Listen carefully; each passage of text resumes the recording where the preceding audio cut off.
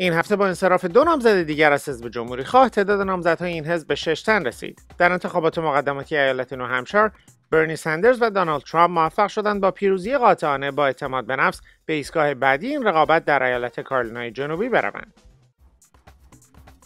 این هفته وزیر امور خارجه کری برای شرکت در 52 می کنفرانس مونیخ به آلمان سفر کرد. جان کری در مونیخ در نشست گروه حمایت از سوریه که در آن شهر برگزار شده بود نیز شرکت کرد و در مورد تسریع پایان بحران سوریه با مقامات مختلف نشستهای دو جانبه داشت. یک شنبه پیش فینال بازی های لیگ حرفه‌ای فوتبال آمریکایی موسوم به سوپربول در شمال کالیفرنیا میان تیم های دنور و کارولینا برگزار شد.